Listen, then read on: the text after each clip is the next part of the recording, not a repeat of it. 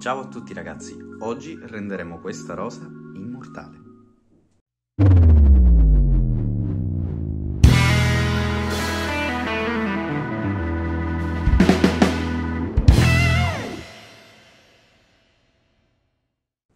In realtà questa è una rosa che ho già reso più longeva nel 2016 perché è la prima rosa che fiorì da una pianta che mi era stata regalata ed è una rosa a cui tengo particolarmente.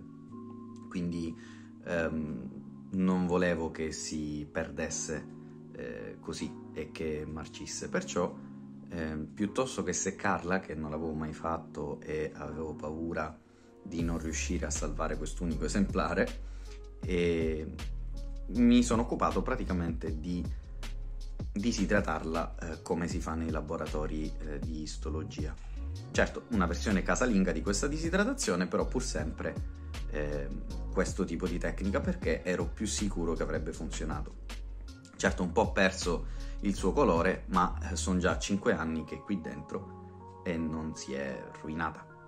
Oggi faremo un eh, passo in più. È un esperimento ulteriore, quindi ho un po' paura di danneggiarla, però eh, è arrivato il momento di provare a renderla veramente, veramente più longeva.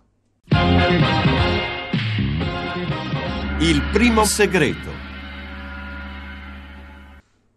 Quindi la prima cosa che dovremo fare è eh, rimuovere questa rosa dal barattolo con, con l'alcol un alcol al 99,9% e um, una volta fatto questo faremo sì che l'alcol evapori perché vorrei trasferire questa rosa in resina di quelle trasparenti che si vedono un po' ovunque ormai e includerla lì. Il problema è che eh, non so se l'alcol eh, può rovinare mh, mm, la resa poi della, della resina quindi la rimuoviamo, la facciamo asciugare e intanto andiamo a lavorare il resto. A questo punto, come abbiamo appena detto, ci occupiamo della rimozione della rosa dal barattolino con l'alcol, stando attenti a non danneggiarla.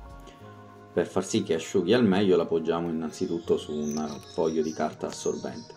Come potete vedere, in questi 5 anni ha mantenuto la sua forma e non si è danneggiata realmente, è rimasta abbastanza integra.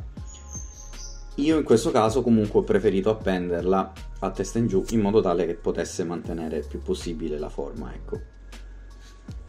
Ok, nel frattempo ci occupiamo della base, quindi eh, in passato avevo preso questo tipo di base, però eh, appunto come disegnato vorrei farla circolare e quindi mi sono organizzato con una di queste al diametro di 5 cm.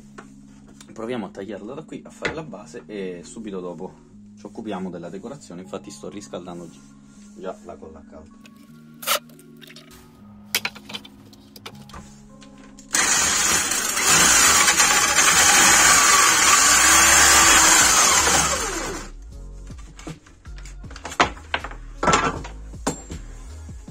l'abbiamo fatta è stato difficile ma ce l'abbiamo fatta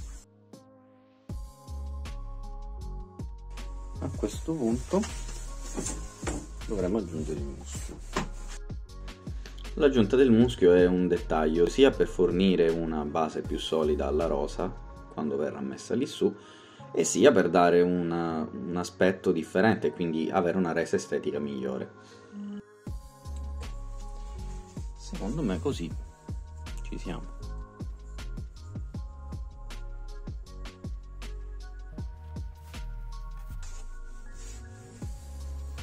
Questo capirete dopo a cosa serve.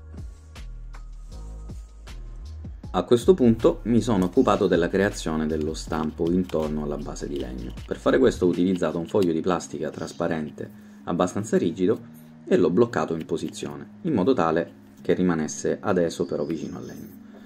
A questo punto mi sono occupato di incollare la rosa all'interno della base. Per fare questo ho utilizzato un po' di colla a caldo e ho posizionato semplicemente la rosa al di sopra. Ho dovuto fare questo per far sì che la rosa rimanesse nella stessa posizione durante eh, la procedura successiva. Poi mi sono occupato della resina.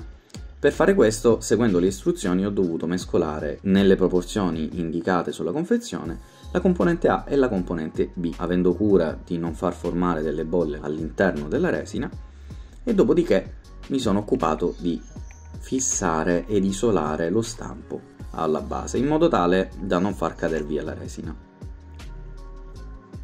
Infine è arrivato il momento di colare la resina all'interno dello stampo facendo attenzione che non si creino troppe bollicine. In questo caso il video è velocizzato ma la resina va colata molto molto lentamente proprio per evitare le bollicine. Essendo la prima volta che facevo questo esperimento e utilizzando per la prima volta questa resina, qualche bollicina io purtroppo l'ho ottenuta, però il risultato è rimasto abbastanza gradevole. Non ci resta che attendere l'asciugatura e la solidificazione della resina, quindi aspettiamo 24 ore come indicato sulla confezione e vediamo cosa succede. Passate le 24 ore la resina è abbastanza solida e quindi rimuoviamo lo stampo e cerchiamo di liberare la nostra rosa.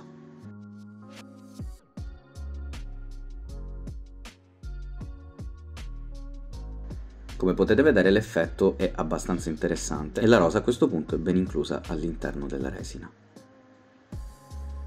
Ed ecco qui il risultato finale. Purtroppo essendo la prima volta che utilizzavo questa resina ci sono delle piccole imprecisioni e si è formata anche qualche bollicina, però tutto sommato il risultato eh, risulta abbastanza gradevole e anche la presenza di bollicine contribuisce a creare un effetto che a me personalmente piace molto. Se vi siete chiesti perché io abbia lasciato il foro del trapano nella base utilizzata per lo stampo, la risposta è qui. Perché è possibile inserire al di sotto un LED, una luce, per poter dare un effetto illuminazione alla resina, come se fosse una lampada.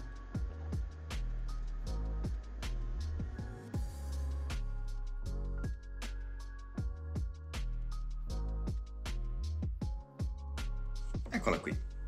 Per essere il primo esperimento che ho fatto con questo tipo di resina mi posso ritenere abbastanza soddisfatto. Certo, ci sono ancora delle bolle, dietro si era un po' incollato lo stampo e quindi è stato inglobato all'interno del, dell'inclusione, però tutto sommato il risultato è abbastanza funzionale e siamo sicuri di avere dato ancora tempo a questa rosa. Il buchino che ho lasciato sotto come avete visto nelle foto finali e l'ho lasciato apposta per poter mettere una lampadina. E adesso luciderò solamente sotto magari eh, metterò un protettivo per il legno e il lavoro sarà finito così non credo che farò ulteriori lavorazioni per evitare di rovinarla perché è appunto la prima volta che uso questa resina però l'esperimento è più o meno riuscito quindi sono contento. Spero che il video vi sia piaciuto. Mi raccomando, iscrivetevi al canale o ai social, seguitemi, scrivetemi se avete dei dubbi e fatemi sapere se volete vedere come ho disidratato la rosa con la scala degli alcol. Quindi ci rivediamo al prossimo video. Ciao a tutti!